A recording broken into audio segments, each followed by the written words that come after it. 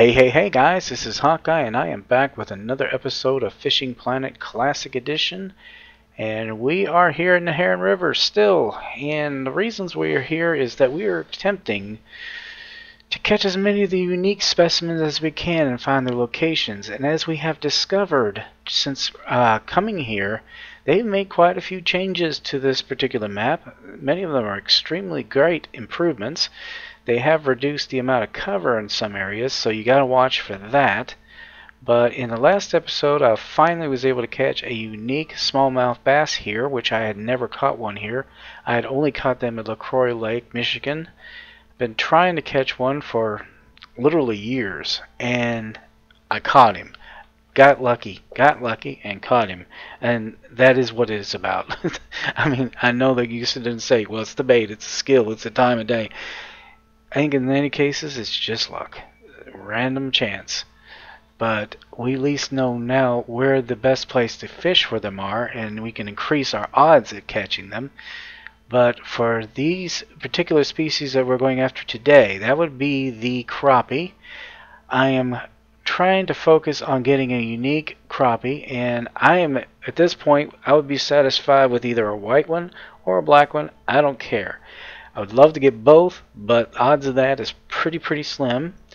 I do know that the best location for catching them is here at Woody Enchantment.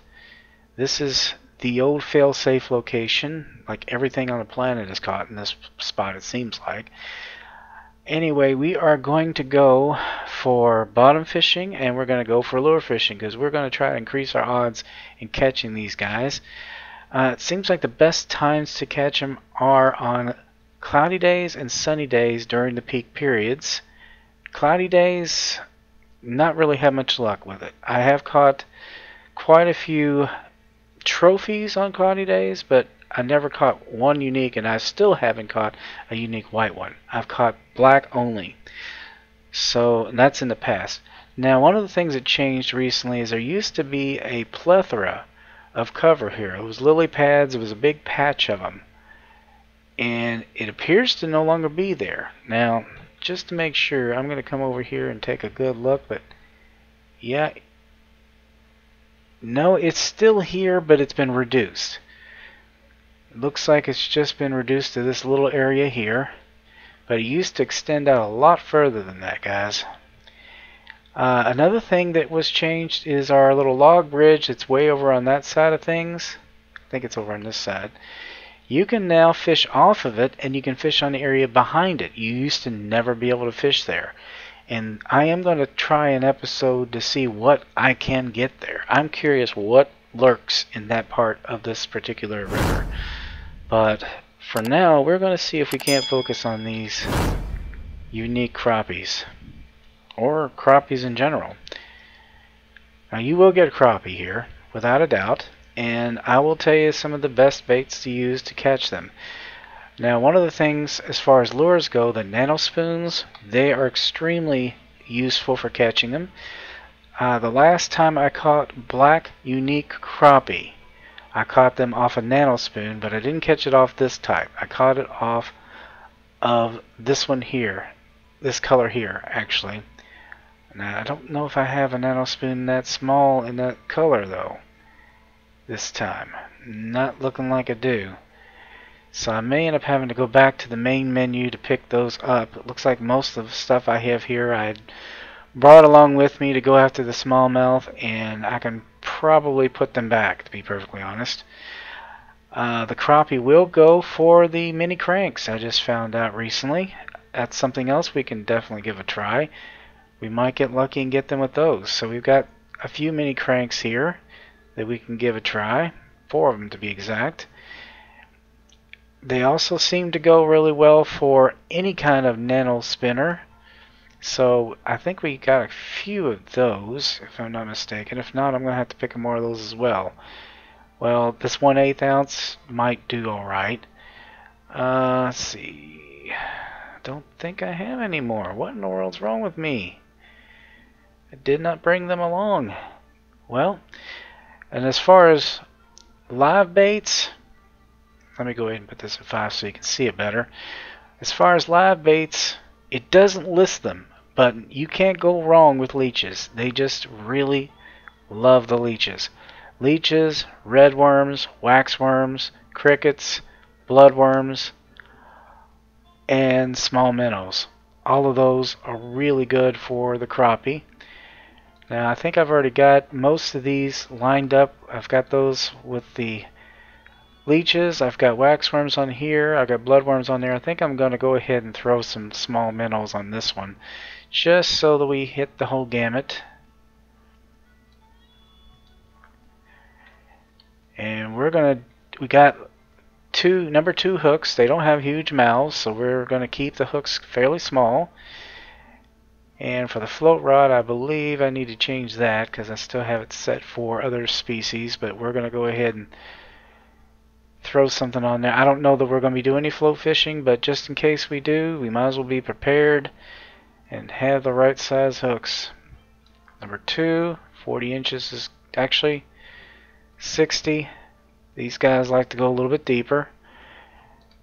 And just to make doubly sure I'm going to put leeches on there. I've had more luck with the leeches with these guys than anything else. So, we have our stuff set up. We've got our rods out there, or our rod pot out there. Now for the white crappie, the white crappie I tend to catch on this side more often. You'll catch them over here. You'll catch a mixture of the black and the white over here. But more often you will get black on this side. More often you will get white on this side. So we are going to try for the white to start off with. And I'm going to try to get as close to that cover as I can. They like cover. We are just, like I said, going into peak. I'm going to put minnows over here as well. I'm going to try to get real close to that that pondweed, I think is what it is. I think there used to be lily pads here too, but now it just seems to be pondweed. We're already getting a bite.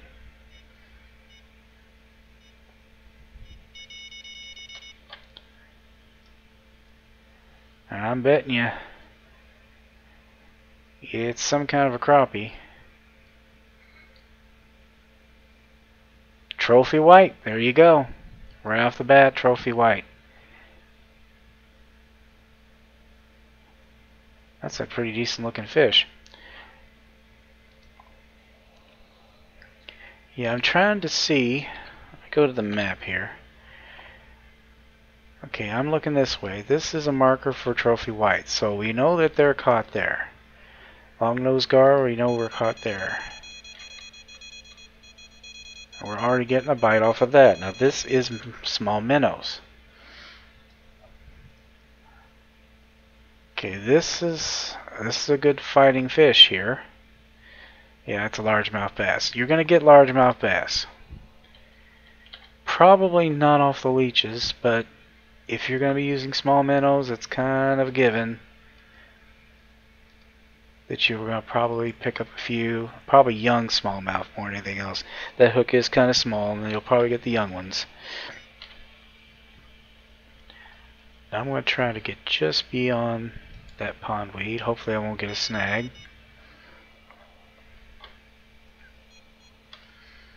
I'd like to at least be able to get all my rods out.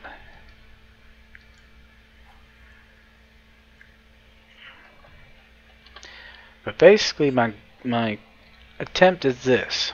I'm going to place out all my bottom rods in the white crappie location.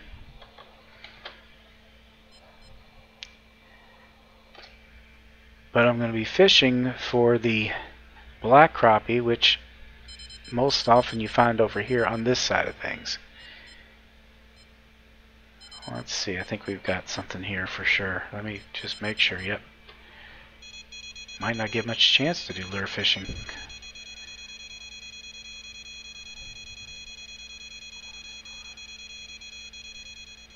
Trophy pumpkin seed. I think it's as big as they come here. Yeah, don't ignore the little fish. Little fish are, are important too.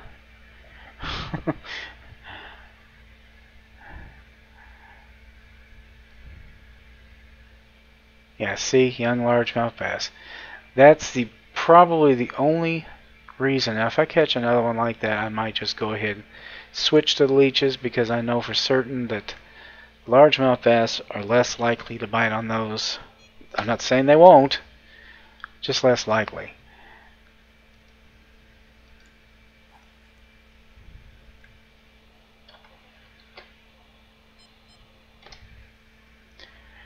And we're going to see if we can't get these black crappie to react. Now, this was supposed to be a partly cloudy day. Looks like it's cloudy. So I don't know how good we're going to do in the first place. Cloudy days have just never been that good for me for fishing for this particular type of species.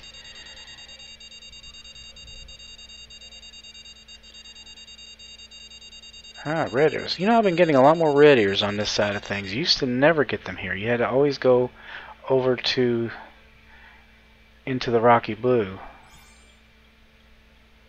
Ah, we got us a shad. Well, that now that's interesting. That's interesting. I have not caught them over here before. I have a spot. You guys have probably seen my video. I was one. Of, I was the first person to find where they were located, but I got that off of waxworms. Go figure that stuff out. That's pretty cool. American Shad, and I got part of that Neherrin trial done. Yeah, I'm getting a lot of red ears here, which is really kind of interesting. See, that's a change. That is a major change. Never, never before, well, I don't know exactly the last time I've been here for anything other than an event, but used to be you had to go to End of the Rocky Blue to get the red ears. That was all there was to it. And there seems to be more of a spread. That's good. That's more natural. They're not going to just be in one spot.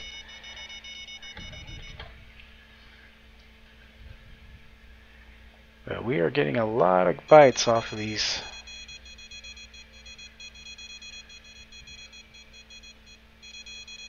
Another trophy white crappie. They're definitely here. It's just that am I going to be able to get a unique in the on a cloudy day? Cloudy days are just not good for them. Now if this is another bass, I am going to switch. Yeah. Nothing against y'all's favorite fish for game fish, but honestly, it's not what we're after. Let's go with leeches for now. Actually, let's go with crickets. Grasshoppers are good too. Again, we might get more, still might get bass, but we're going to give it a try here.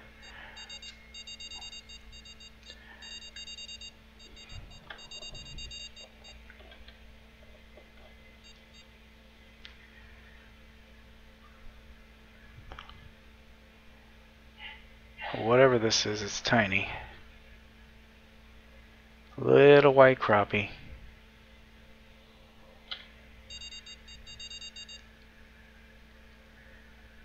Now there's no shortage of action, guys. No shortage of action.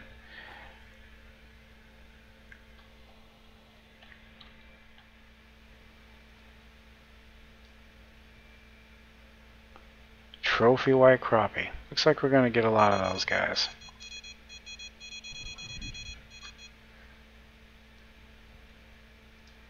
This is off the crickets.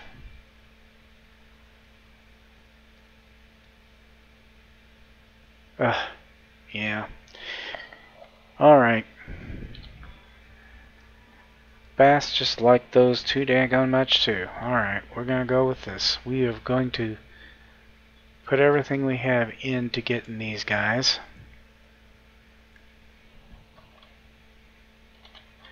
Mostly for time saving purposes.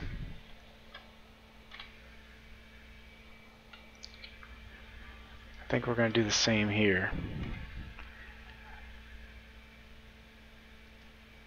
Leeches are just more effective.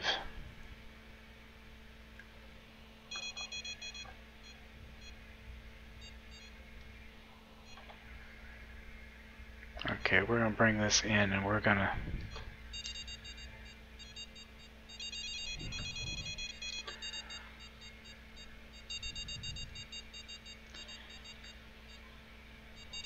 Okay, whatever this is is fairly good size. Trophy white crappie.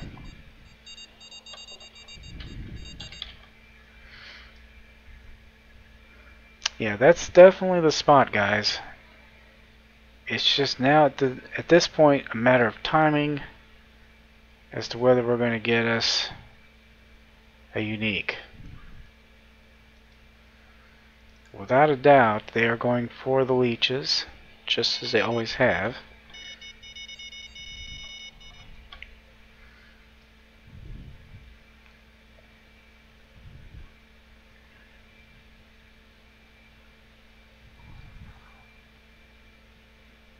Ah, see, now not every one of them are going to be white. There's a black one.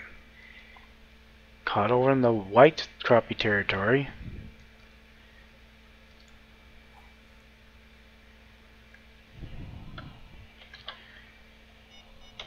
Yeah, they have really changed a lot of this. Used to be they didn't mix. They were pretty much separate.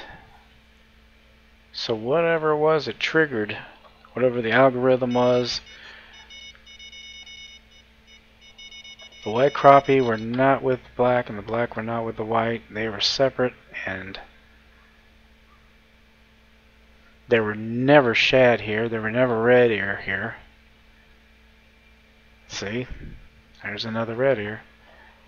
If I got a unique red ear out of here, I'd, it would blow my mind. Because that is not the, the main spot. Without a doubt. I think what I might do... Oh, here's the snag. So I did have a snag. Alright. Well, I tell you what. Let's throw some leeches on here. Just like the white ones. The black ones, Love the leeches too. But I'm going to throw this one over here just to help my odds with get the black ones. Because I don't seem to be able to do any lure fishing here. They're coming too quick and too fast. Another trophy.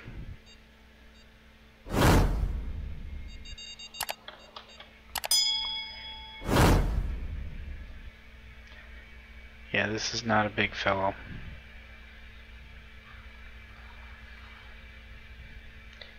Another black one. Okay, we're going to throw this one right here. I really have not seen any distinction in biting times between the two species. It's not like the black bite more in the mornings, the white black more in the evenings. They seem to just there's another trophy. Follow the same pattern. Damn.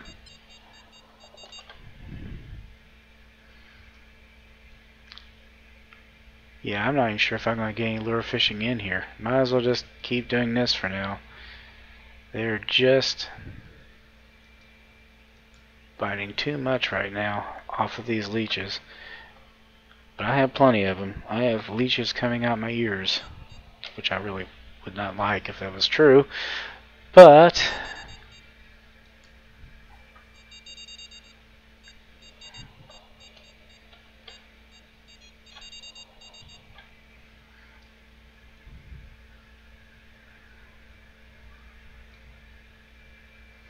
But you can see the black crappie are more consistently being pulled out of this side. Now, there's uh, although there's a marker for it, that is not necessarily, you don't have to be like right on that spot. In fact, anywhere around those stick ups is usually good, and it seems like they love those stick ups. They just tend to hover in those areas.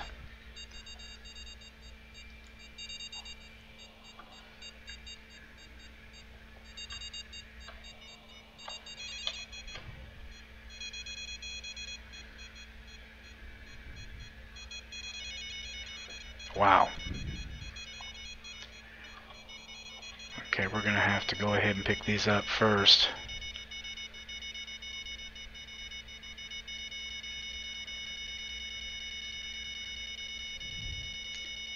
Another black.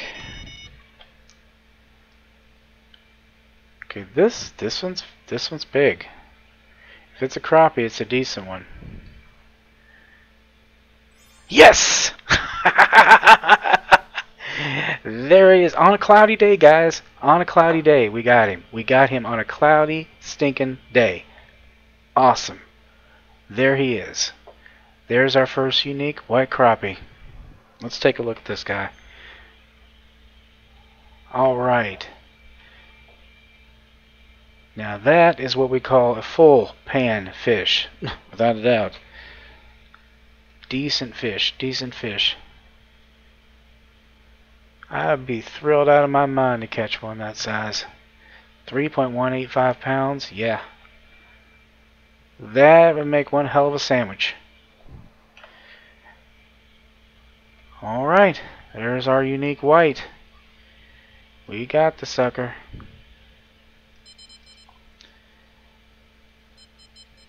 Well, let's see what's on this one. Yeah, I knew he was big, but been getting a lot of trophies over there. Let's see if we can't get these black ones. Maybe our luck's running well this time. And we can hit them kind of hard.